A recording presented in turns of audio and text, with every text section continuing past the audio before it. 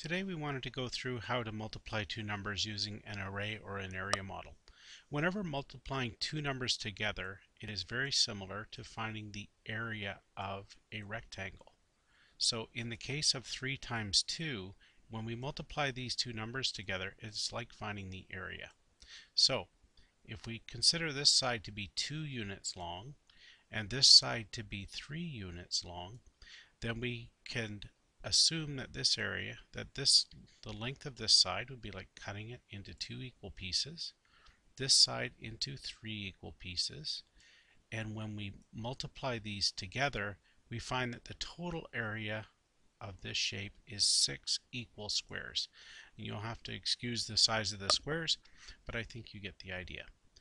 Now, if we use the same model when we're multiplying larger numbers, like 32 times 23, we could see that we could break up this side into 23 equal size shapes, or we could say, let's pretend this side is 20 plus another 3 long. And that just makes a little bit easier numbers for us to work with. So I'm going to draw a line in here, assuming that this part, this length from here to here is 20 and this is 3. And it's only a sketch because we just want to get the idea. Likewise, the other side we can break up into easy numbers, and we're going to say it's 30 and 2. So 30 plus 2 more for 32. Now, we can calculate the area of each of the individual rectangles. So this rectangle here, 30 by 20, the total area of this rectangle is going to be 6. 3 times 2 is 6. And then we have times 10 times 10 or 600. Likewise, we can go to the rectangle on the right. 3 times 30 is equal to 90.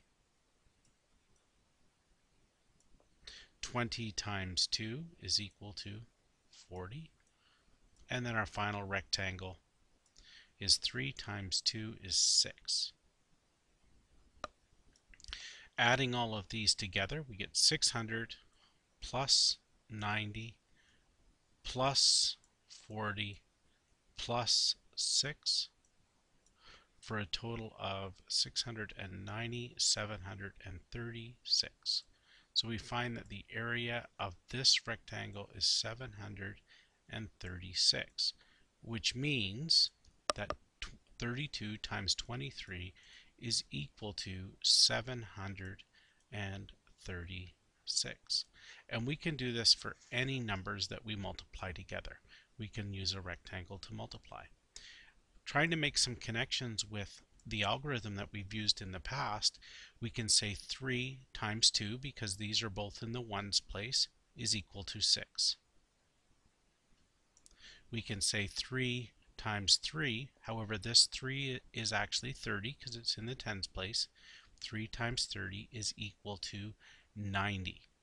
So 90 plus 6 is 96. Or in other words, 3 times 32 is 96. 2 times 2 is 4. However, this 2 is in the tens place, so it's actually a 40. Sometimes we talk about putting a zero as a placeholder. We only put the zero down because the second digit we're multiplying is in the tens place. And then we want to take 2 times 3, which is really 20 times 30 is 600. Adding these all together, we get a 6. 90 plus 40 is 130. And we carry 100 and 6 100 plus 100 is 736. So we still get the same numbers. We can see some links between these numbers. If I draw a couple circles around, this 6 here, this area in this shape, is actually equal to this 6 here. This 90 is actually equal to this 90 here. So 6 plus 90. This 40 down here is equal to the 40 here that results from multiplying two, 20 times 2. So this 40 here these two are the same in our algorithm. And this 600 is actually this 600 here. So we can see these models are very similar. However, when looking at the model, some students may find it easier to look at it like this or to follow the traditional model that's been used in the past. Either one works equally well. However, this one here shows you the place value a little better. Now let's move on to decimal numbers. What happens if we have a number like 3.2 times 2.3? Well, once again, we can break up our rectangle into separate pieces and we want to put them into compatible um, numbers. So if we look at 2.3 then we could say that this length is 2 and this length is smaller so we're going to call it 0.3. We have 3.2 so we're going to say this length is 3 and this length here is 0.2. 3 times 2 once again gives us an area of 6. 3 times 0.3, if we had 0.3 and added it 3 times, we would get 0.9. So 3 times 0.9 is, or 3 times 0.3 is 0.9. Sorry about that. Likewise, 0.2, two groups of 0.2 is 0.4, which makes sense.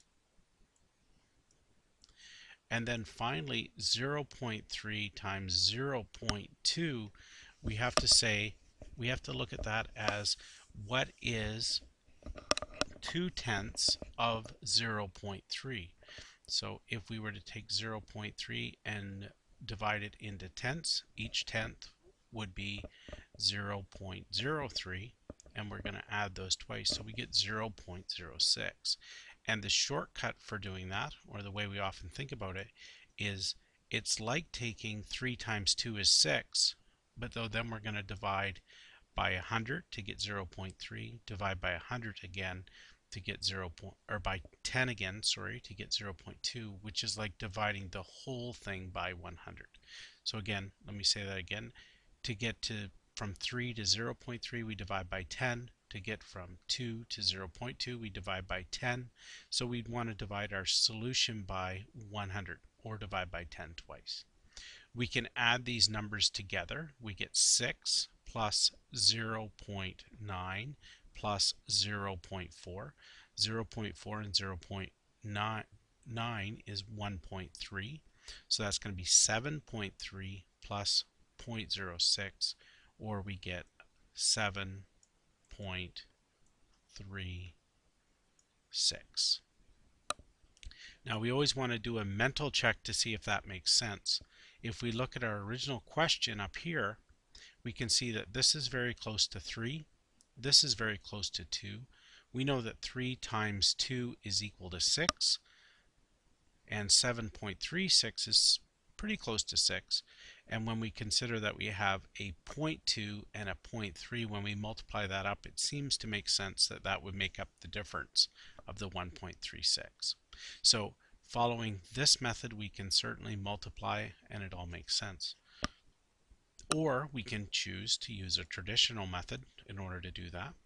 Taking 0.3 times 0.2, when we multiply those together, we're going to get a 6 and we can multiply as if the decimal wasn't there and we deal with the decimal after. 3 times 3 is a 9 or in this case it's 3 times or it's 0.3 times 3 um, then we're going to take a, a 2 times a 0.2 we're going to use our 0 once again as a placeholder we get a 4 and then we take 2 times 3 is 6 adding these numbers together we're going to get 7.36. Now, why does a decimal point go here? Well, if we look, this is 32. If we were to treat this like it wasn't a decimal, we have to divide by 10. And if we were to treat this as if it wasn't a decimal, to get to the decimal, we need to divide by 10. And dividing by 10 twice is the same as dividing by 100. So we need to move our decimal over two places and we get 7.36. So we can see we still get our 7.36. once again, looking at how these connect, our 0.06 here is the same as this number here, this 6. Our 0.9 is the same as this 9. And if we look when we added this up in this column, it is actually equal to 0.9. And I should have said the 6 is actually 6 hundredths.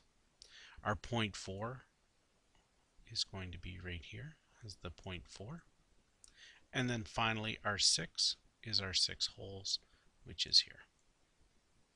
So we can multiply decimals the same way that we multiply with uh, any two-digit number, except we need to take into account the number of decimal places. So I like to think of it as this is divide by 10, and this is divide by 10. So when I'm dividing by 10 and I'm dividing by 10, then in the solution I need to divide by 10 times 10, which is dividing by 100 in my final solution, which means I need to move the decimal point over two places. I hope this video helped you a little bit. And if there are any questions, don't hesitate to see your math teacher. Thank you.